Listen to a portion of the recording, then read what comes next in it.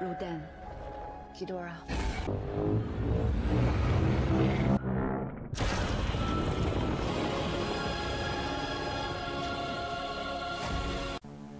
Сцилла, также называемая Титанус Сцилла, является гигантским бронированным головоногим кайдзю, созданным Legendary Pictures, впервые появившийся в фильме «Годзилла. Король монстров» в 2019 году, в роли второстепенного Титана, который подчиняется Гидоре, а затем и Годзилле. Сцилла является морским чудовищем женского пола из греческой мифологии, дочь Тифона. Монарх подтверждает, что Титан Сцилла был назван древними греками, которые интерпретировали его как самку морского чудовища. Название также может относиться к сциллам, роду плавающих крабов, так как некоторые части тела сциллы очень напоминают крабов, особенно его конечности. Поскольку Сцилла вдохновлена Ктулху и напоминает его в некоторых элементах своей внешности, ее имя может также относиться к Тиле, дочери Ктулху. Сцилла – это гигантская бронированная головоногая с черной окраской тела, с шестью очень длинными, костистыми, слегка волосатыми ногами. Каждая конечность имеет по два сустава и заканчивается когтем с маленькими шипами, растущими из первого сустава. У Сциллы также имеется покрытая металлом мантия с десятью усиками и парой черных глаз.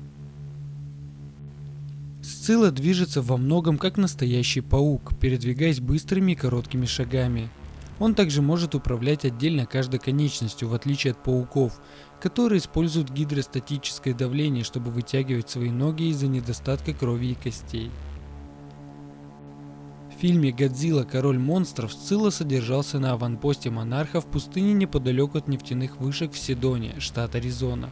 После краткого изучения его файла Марком Расселом, Сциллу разбудил призыв ее новой альфы. Наряду с другими титанами, исключая Годзиллу, Мотру и Конга, Сцилла отправляется на охоту, передвигаясь вместе с другими титанами, и она использовала свои конечности для разрушения зданий в Фениксе. В новостях позже упоминается, что монарх подтвердил греческое происхождение Сциллы и можно увидеть, что Сцилла стал одним из самых популярных и известных титанов для человечества. Согласно сообщениям, Сцилла оказывает положительное влияние на окружающую среду, выделяя достаточное количество жидкого азота, чтобы замедлить таяние льда в Антарктике и стабилизировать уровень мирового океана. Внутренняя биология сциллы очень похожа на биологию кальмара, что позволяет ему выживать как на суше, так и в воде.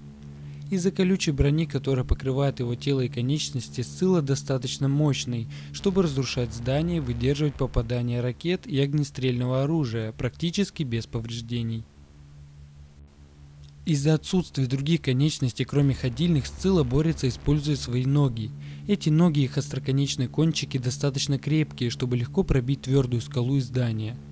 Усики сциллы также способны захватывать мелких врагов и разрушать здания. Когда Сцилла впервые была показана в трейлере к фильму «Годзилла. Король монстров», многие полагали, что это Кумонга. Сциллу поместили в Аризоне, сделав отсылку на сцену, где Кумонга напал на Аризону в фильме «Годзилла. Финальные войны» 2004 года. Аванпост, в котором содержался Сцилла, имеет номер 55, являясь возможной отсылкой на фильм Тоха 55 года «Годзилла снова нападает». Сцилла была создана Майклом Догерти, чтобы потворствовать его интересу к мифам Ктулху.